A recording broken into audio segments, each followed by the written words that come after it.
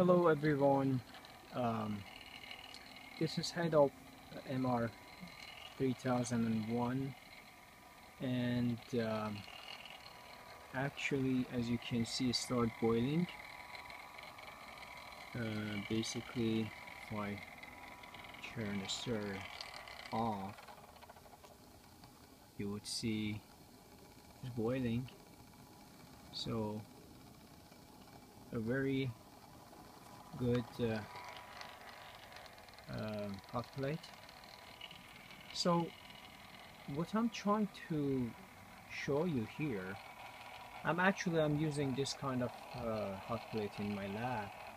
I had also Fisher Scientific and other kind of uh, hot plate.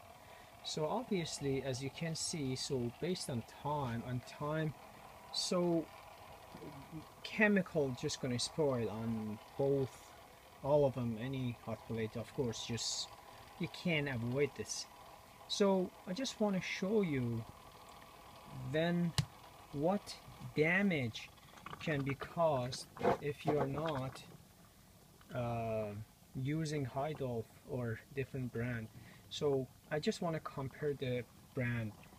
If you simply um, open the back both of this kind of uh, hot plate you would see the difference